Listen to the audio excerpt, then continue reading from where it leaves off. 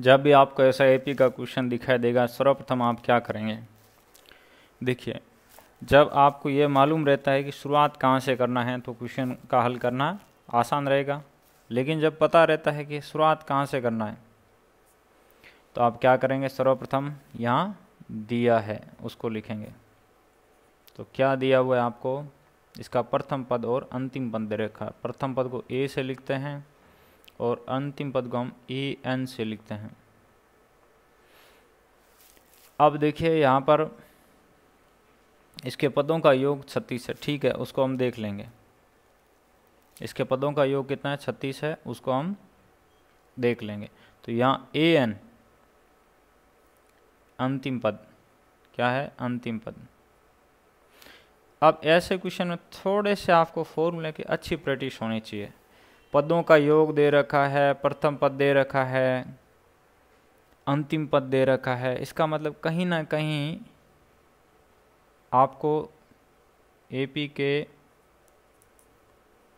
N पदों का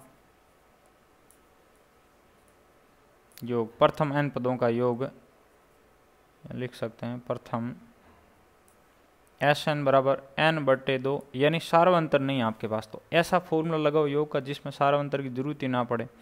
प्रथम पद प्लस अंतिम पद का फॉर्मूला।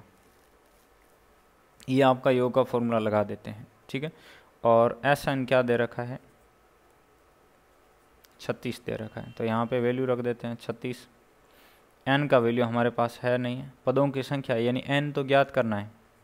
देखिए, मैं मैं क्या बोला? जो चीज़ें दे रखी है, उनसे रिलेटेड फॉर्मूला लगा दो। आपका, अपने आप रिज़ल्ट आएगा। जैसे हमने ये फॉर्मूला लगा दिया, तीन चीज़ें दे रखी, तीन चीज़ों से रिलेटेड फॉर्मूला लगा दिया है तो आपका यहाँ पे ऑटोमेटिक एन का मान निकल के आ रहा है।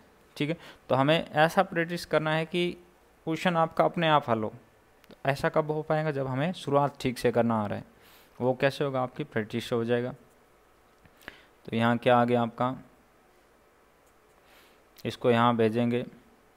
तो यह किसमें है? यहाँ भाग में है। दूसरी तरफ़ आएगा तो गुणा में आ जाएगा। एक प्लस ग्यारह, कितना आएगा? बारह। ये एन के गुणा में है।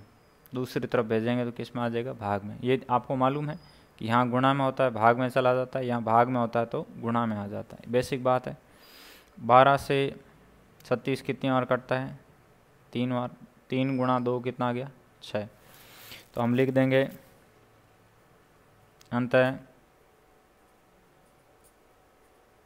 पदों की संख्या बराबर कितना है?